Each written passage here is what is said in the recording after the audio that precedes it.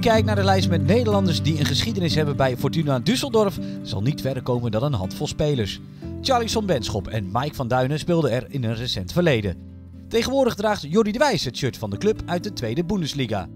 Via een aantal omzwervingen, onder meer bij Hull City, heeft de centrale verdediger zijn plek helemaal gevonden. Het begin is natuurlijk dat je, dat je vrij bent in je hoofd en dat je goed in je vel zit en uh, dat je met plezier naar, uh, naar de club gaat elke dag.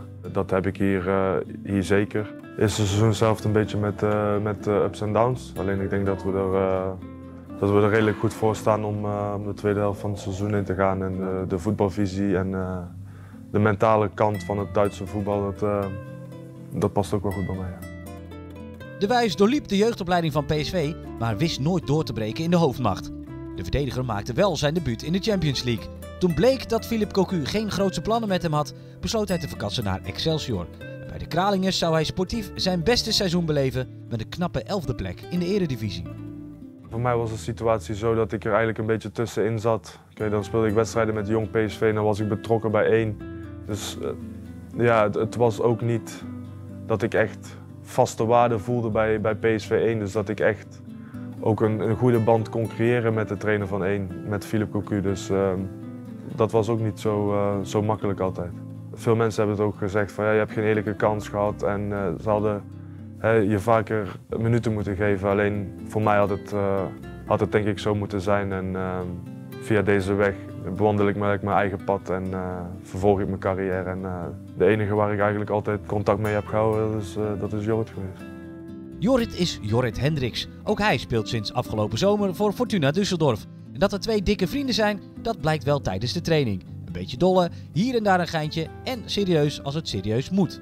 Pas op het moment dat Düsseldorf het contact met, met Jorrit zaakwaarnemer had gelegd. Toen had ik dat ook opgevangen natuurlijk en heb ik ook met Jorrit gesproken en uh, ja, hem verteld wat het, uh, wat het mij heeft gedaan om hier naartoe te komen en uh, ja, wat het voor hem zou kunnen betekenen. Maar ja, uiteindelijk kan je zoveel zeggen als je wil, alleen zal hij uiteindelijk toch zelf de beslissing moeten nemen. En ja, ja, ik ben blij dat hij deze keuze heeft gemaakt. En natuurlijk verandert er iets dat je samen met je beste maat op het veld staat.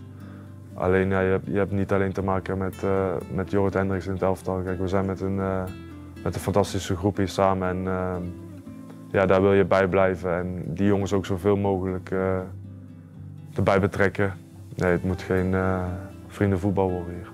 Heel veel tijd voor geintjes is er niet. Fortuna Düsseldorf draait een goed seizoen en staat aan de bovenkant van de middenmoot. Maar moet vol aan de bak om dat ene doel te bereiken doel is natuurlijk wel met de bovenste, de bovenste ploegen mee te doen om, om het kampioenschap of in ieder geval om, om te promoveren. Ik denk voor de club en voor het team wat we hebben dat dat, uh, dat, dat zeer realistisch is. Ik denk ook dat, dat, uh, dat de club dat uitstraalt. Het stadion, de stad, de fans, ook, uh, ook de spelers die, die het shirt mogen dragen, die, die stralen alles uit om, om een stapje hoger op te gaan.